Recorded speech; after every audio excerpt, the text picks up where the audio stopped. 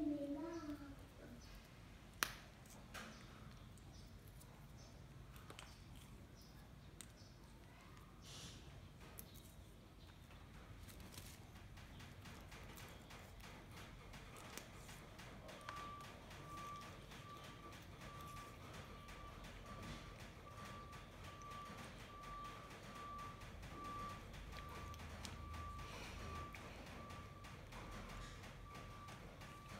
Sống mà ăn cái gì con? Chưa nấu mà.